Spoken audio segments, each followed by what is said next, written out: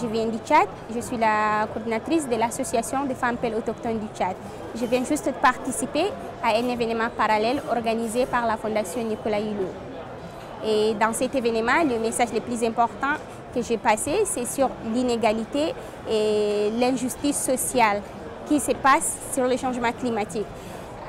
Nous, on n'a pas créé le changement climatique, on n'est pas un pays industrialisé, mais tandis que nous subissons les impacts du changement climatique qui se résument sur le changement des saisons, sur la dégradation de la biodiversité qui impacte nos vies et qui fait la rareté des ressources naturelles, dont il y a l'insécurité alimentaire et les conflits partout intercommunautaires et même inter-États.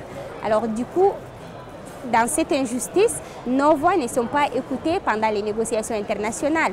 Bien sûr, on est représenté, mais cette représentation, elle se résume à deux personnes qui sont prises en charge par l'ONU, mais pour les autres, nos pays doivent chercher des financements pour le combler. Or, les pays pauvres, ils ont d'autres priorités comme la sécurité ou euh, la sécurité alimentaire, la santé, l'éducation des populations. Alors, est-ce qu'ils vont consacrer de l'argent pour que les gens puissent venir à la COP?